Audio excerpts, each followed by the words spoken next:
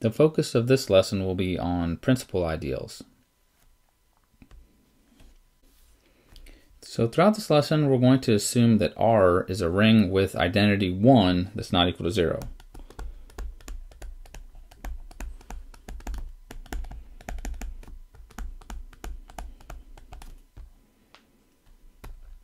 So whenever we say R is a ring, it will be a ring with identity.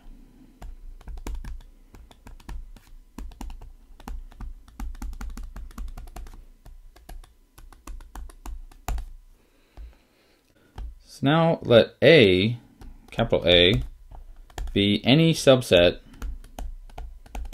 of R.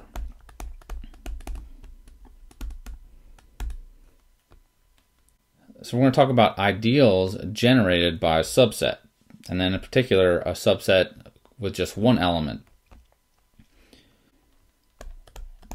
So just like we had notation for a cyclic group, we're going to use the same notation for uh, an ideal generated by a subset A. So this notation is going to denote an ideal generated by A, but it's also the smallest ideal of R that contains A.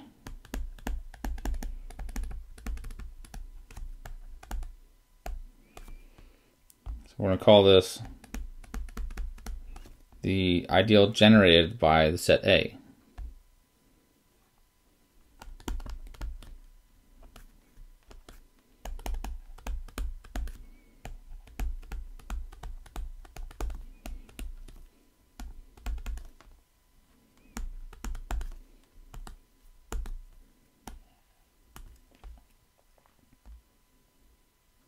Let's call this definition one.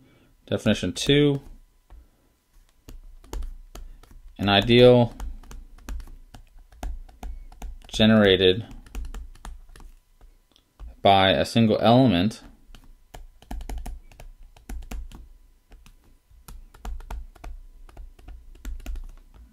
let's call the element A. Now we just denote this by these angle brackets with the element A in it. And this is called a principal ideal. So a principal ideal is an ideal generated by a single element.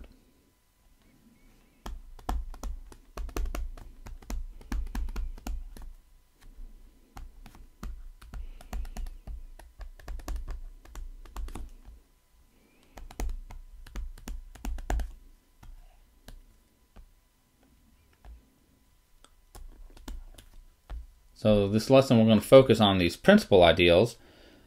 Um, we're also going to look at an example or two of finitely generated ideals. So these are ideals generated by a finite number of elements of the ring R. It's an ideal generated by a finite set say A1, A2, AN is denoted by angle brackets.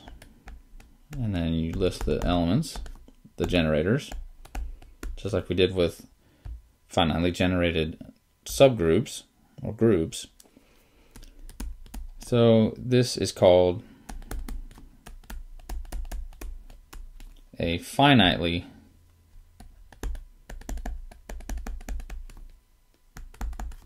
generated ideal.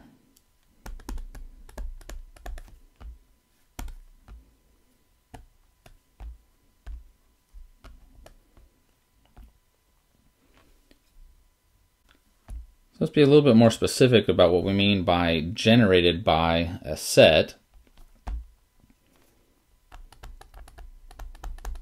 So these facts. First, the ideal generated by the set A is actually equal to the ideal R A R And we already defined the product of two ideals. So this set consists of finite sums of elements of the form R1, A1, R1 prime, where R1, R1 prime are in R, and all the AIs are in set A.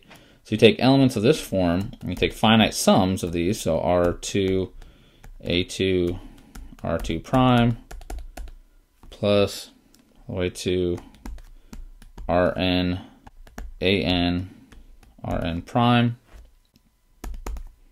Again, where all the all the Ri's and Ri primes are in the ring R. The AIs are an A, and N is a natural number. So we have all these, any element that can be written as a finite sum of elements of R times elements of A times elements of R.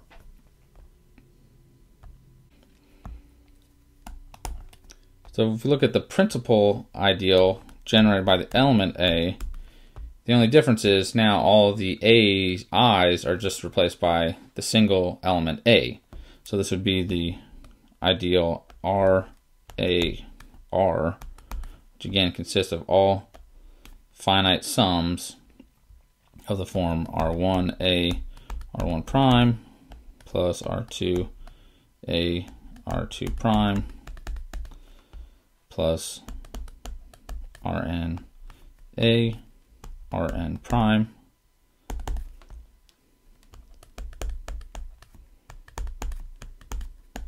where all the R's are in the ring, and N is in natural number.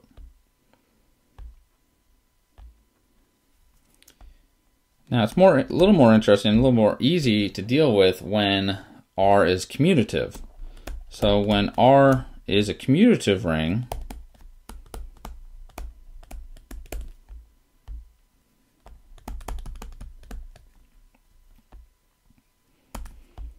then this principal ideal generated by A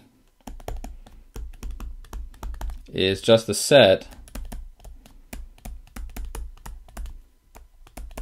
of all R multiples of the element A. So this ideal generated by A just consists of all elements of the form R times A, where R is an element of R. Let's look at a quick example of finitely generated ideals. Well, in the ring R, R and the trivial ideal 0 are principal ideals.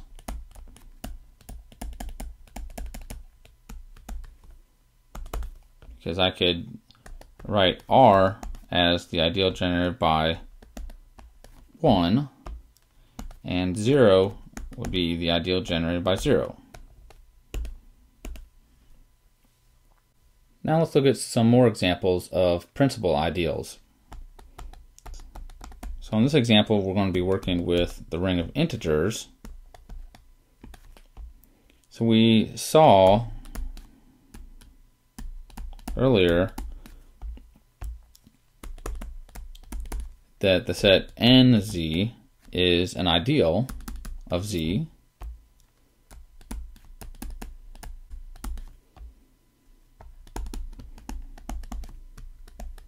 for any integer n. And these ideals are actually principal ideals.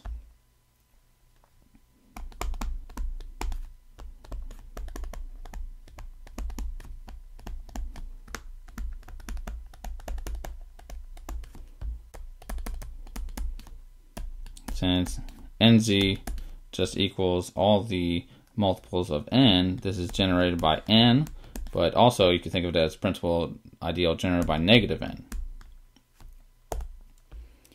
It turns out that every ideal of z is a principal ideal. So in fact, since every subring of the integers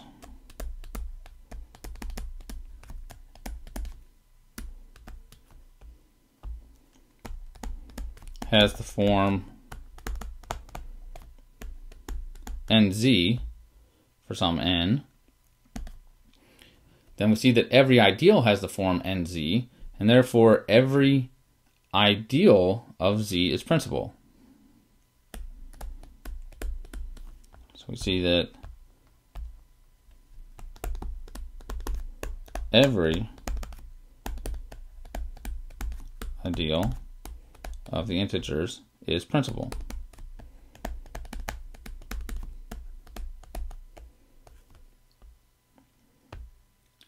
Now, some more facts for positive integers.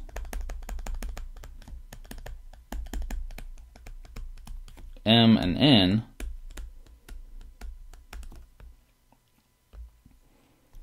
think about the relationship between mz and nz.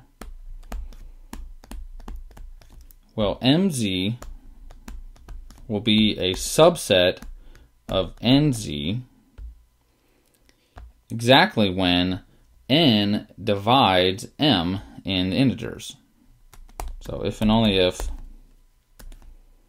n divides m. So for example, the set of multiples of 4 are contained in the set of multiples of 2 because 2 divides 4. Another fact, further, the ideal generated by two non-zero integers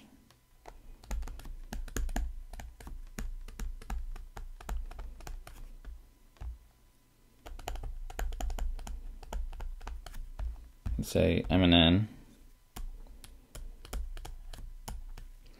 Well, this has to be a principal ideal, and it turns out that this is the ideal generated by the greatest common divisor of m and n.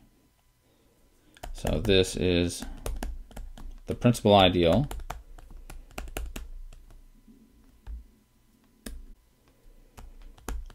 generated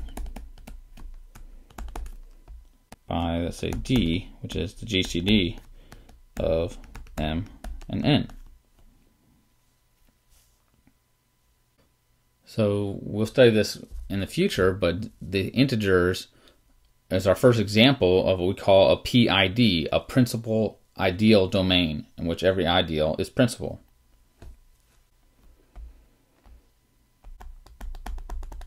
Now let's look at the ring R adjoin X. So this is the ring of polynomials in the variable X where all the coefficients are real numbers.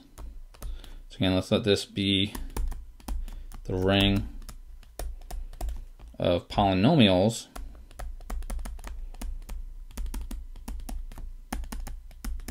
in X with real coefficients.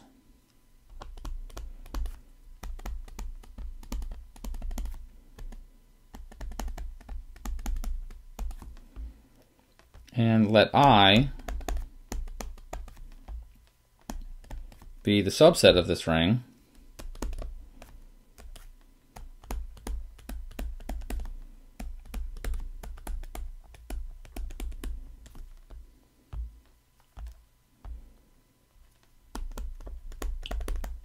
consisting of polynomials with constant term 0.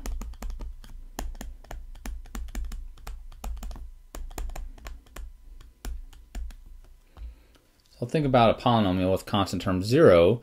Every term in this polynomial will be a multiple of x, the variable x. So we see that every element of i is an element of the ring generated by the variable x. So we see that i must be the principal ideal generated by x.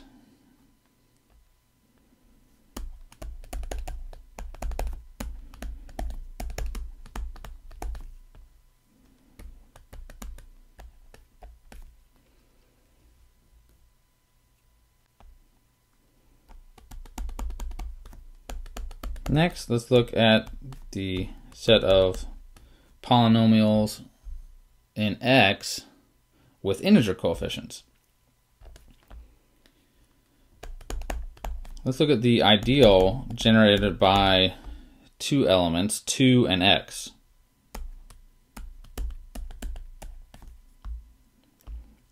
Well, this ideal is not a principal ideal.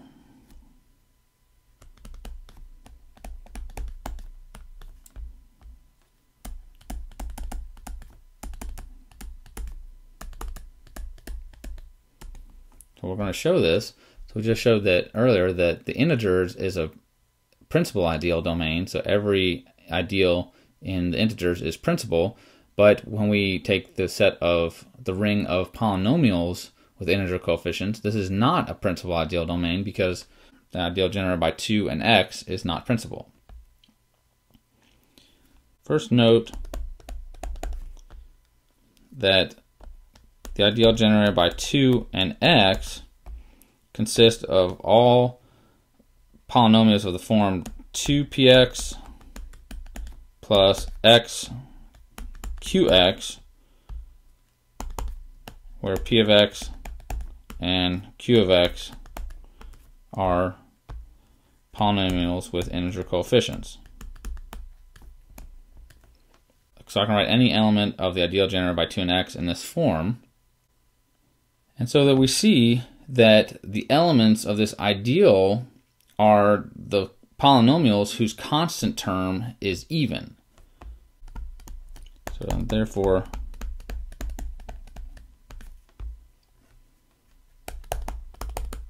this ideal consists of polynomials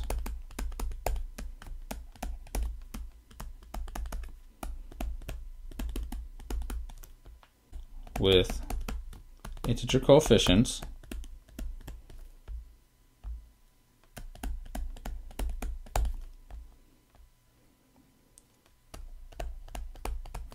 whose constant term is even.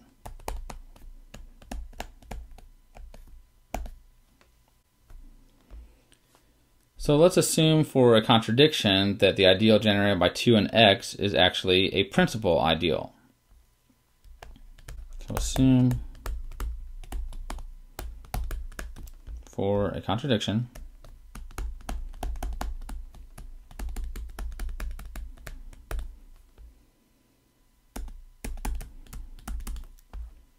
that the ideal generated by 2 and x actually is principal, so it's generated by some polynomial a of x.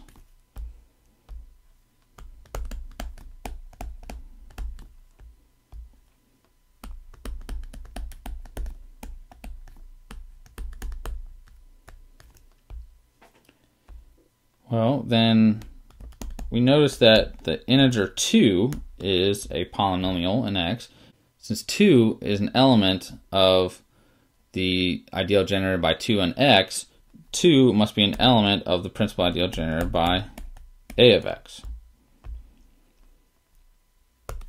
And, and therefore, we could write 2 as a multiple of a of x. So there must be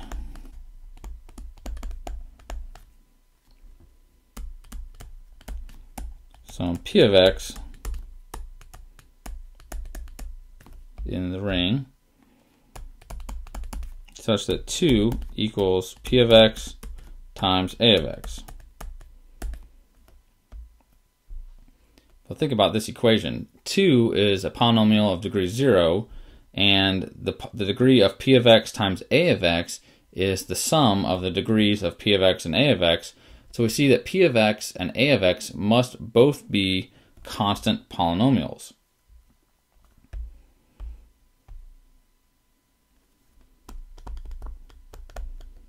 So since the degree of p of x times a of x equals the degree of p of x plus the degree of a of x,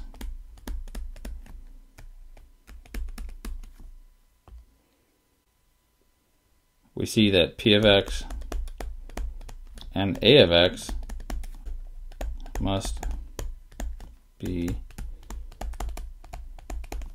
constant polynomials.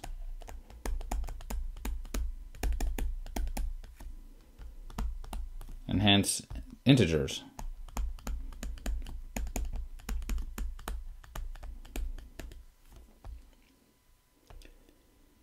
So we know that a of x now is an integer, but it's an integer that divides 2. Well, the only divisors of 2 in the integers are plus or minus 1 and plus or minus 2. So if a of x equals plus or minus 1, then the ideal generated by a of x just equals the whole ring. So then the, the ideal generated by a of x equals the whole ring of polynomials with integer coefficients. But this can't be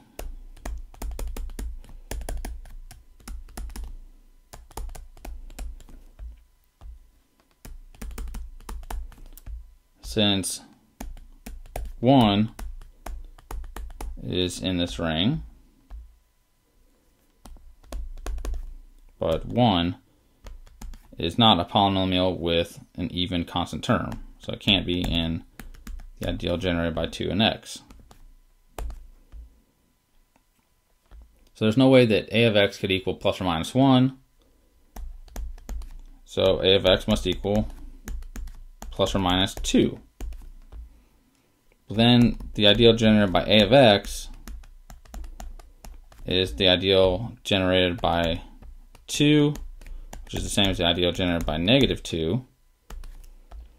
So this means that every coefficient in this ideal must be even.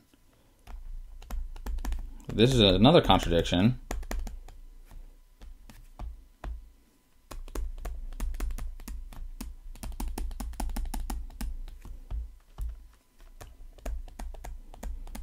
because after all, x is one of the generators of this ideal. So x is in the ideal generated by 2 and x, but x doesn't have an even coefficient. So x can't be an element of the ideal generated by 2, which consists of all polynomials with even coefficients.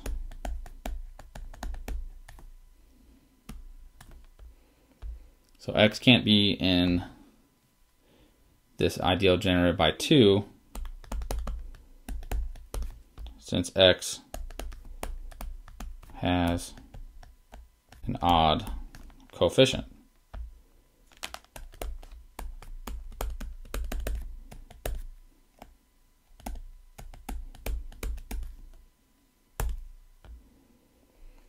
So this shows that the ideal generated by 2 and x cannot be principal.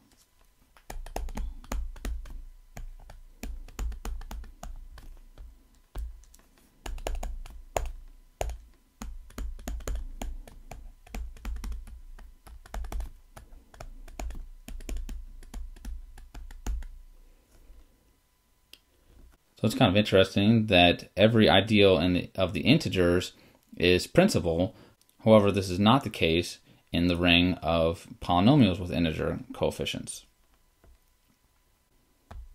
So what if I change the coefficient? So let's consider the ring of polynomials with rational coefficients.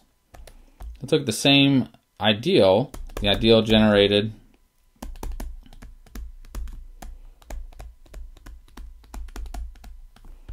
by 2 and x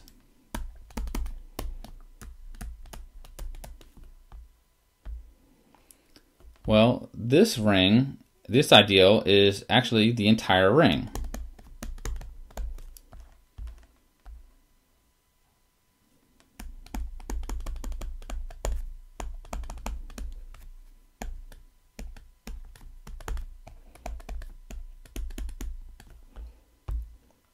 And the reason is because now we can multiply 2 by the rational number of 1 half.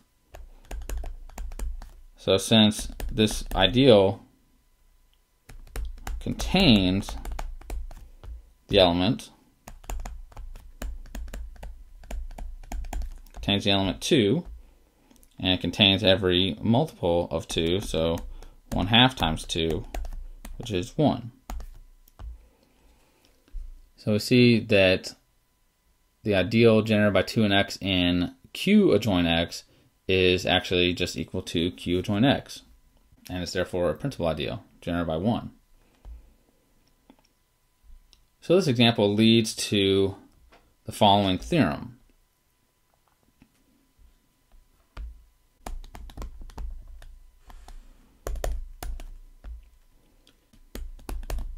That I be an ideal of R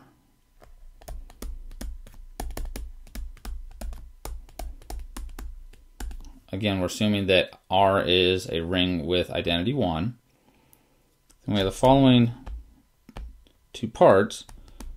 The ideal equals R if and only if I contains a unit. And secondly, if we assume that R is commutative,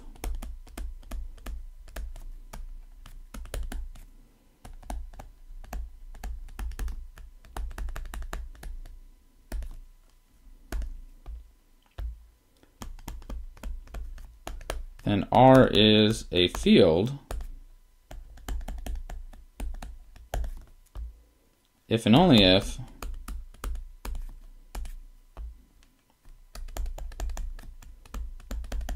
its only ideals are the trivial ideal 0 and the ring R itself.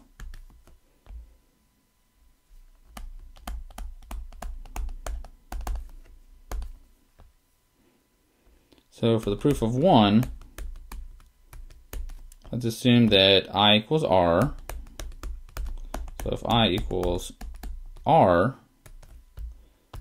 then i contains the unit 1.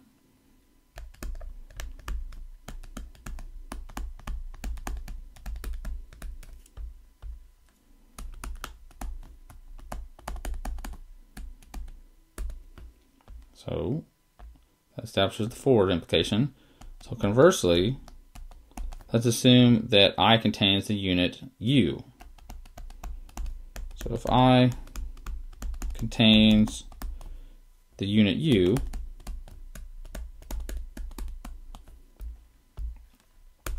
then by definition of a unit, there must be another element V where such that V times U equals the identity 1.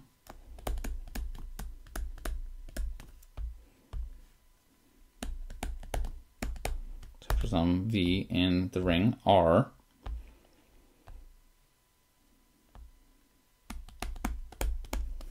Then for all R in R, we can write R as R times 1, but 1 we can write as V times U, and then by associativity this equals R times V times u, which must be contained in the ring I.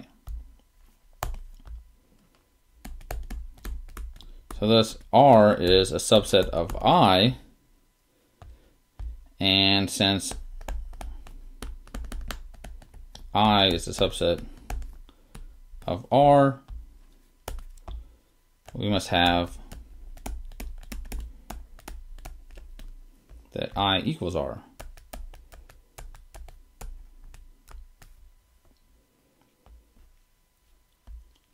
So that establishes part one of this theorem. Now for the proof of two, let's assume that R is commutative.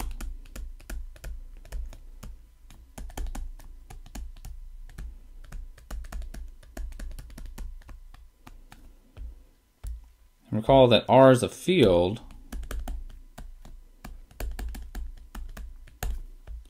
if and only if every non-zero element of R is a unit.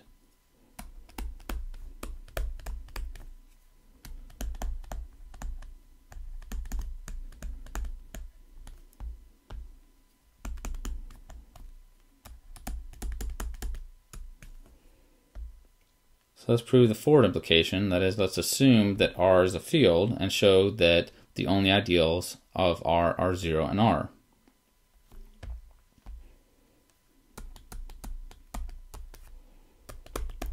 So if R is a field,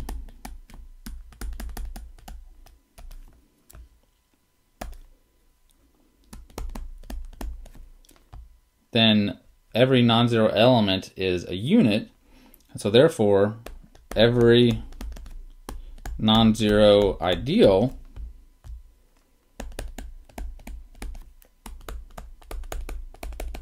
contains a unit. And then by 1, every non-zero ideal must be equal to R. So the only non-zero ideal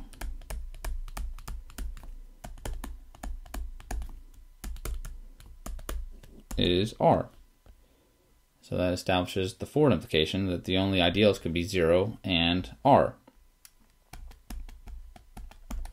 So now for the reverse,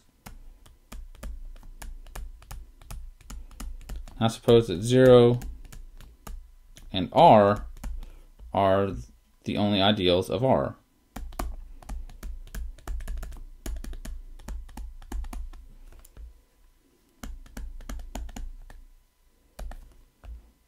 And let's let u be any non-zero element of R. So let u be a non-zero element of R. So we're going to show that u is a unit, and therefore, since u was an arbitrary non-zero element of R, R must be a field. So let's look at the ideal generated by u. So then the ideal generated by u, well, it must be non-zero, and therefore the only choice for, the only possibility for this ideal is r. So then this ideal generated by u must equal r. But since 1 is in R, 1 must be an element of the ideal generated by u. And if 1 is in the ideal generated by u,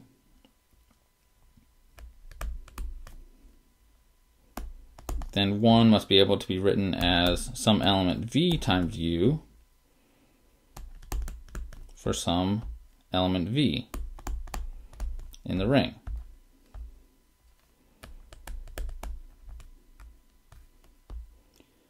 Therefore, U is a unit. Since U is an arbitrary non-zero element, we see that every non-zero element of R is a unit which is the same as saying that R is a field.